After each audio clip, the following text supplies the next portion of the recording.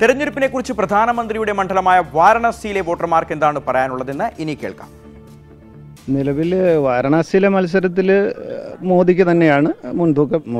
മൊത്തത്തിൽ യു പിയിൽ മൊത്തം വരുമ്പോഴത്തേക്കും ഇതിന്റെ അകത്ത് ഒത്തിരി വ്യത്യാസം വരാൻ സാധ്യതയുണ്ട്.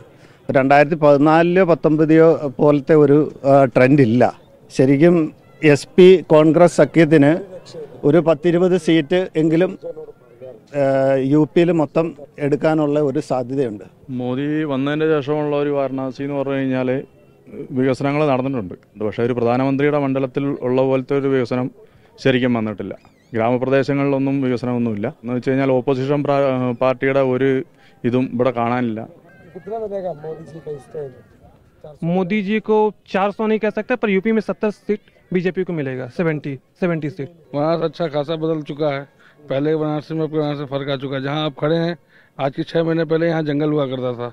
जहाँ आप इतनी बढ़िया शूटिंग करा रहे हैं लाइटिंग वगैरह व्यवस्था हुआ है तो मोदी जी का ही वो है। मोदी जी जैसा भी हमारे लिए मोदी अच्छे हैं।